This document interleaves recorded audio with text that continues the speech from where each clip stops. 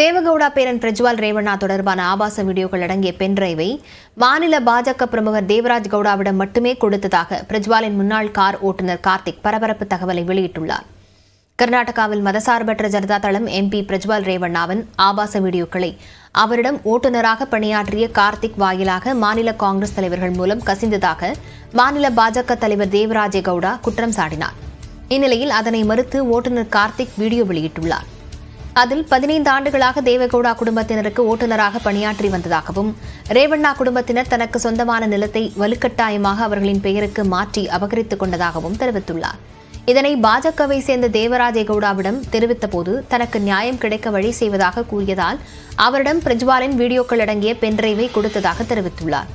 அவரை தவிர வேறு எவரிடமும் இதனை தெரியப்படுத்தவில்லை என்றும் இந்த விவகாரத்தில் பாஜகவினர் தன்னை ஏமாற்றிவிட்டதாகவும் கூறியுள்ளார்.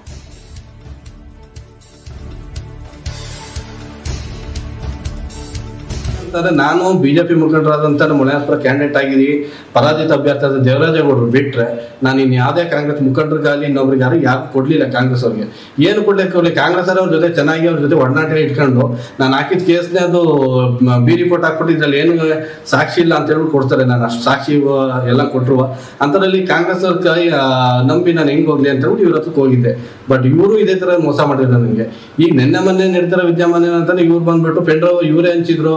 ಇನ್ನೊಬ್ರು ಕೊಟ್ಟು ಹಂಚ್ಕೊಂಡ್ರು ಯಾ ಬಿಜೆಪಿ ಹಂಚ್ಕೊಂಡವ್ರು ನನಗೆ ಅದು ಗೊತ್ತಿಲ್ಲ ಬಟ್ ಇವ್ರು ಒಬ್ರಿಗೆ ಬಿಟ್ಟು ನಾನು ಯಾರು ಕಾಪಿ ಕೊಟ್ಟಿಲ್ಲ ಈಗ ನೋಡ್ರಿ ಅವ್ರು ಬಚಾವಾಗೋಸ್ಕರ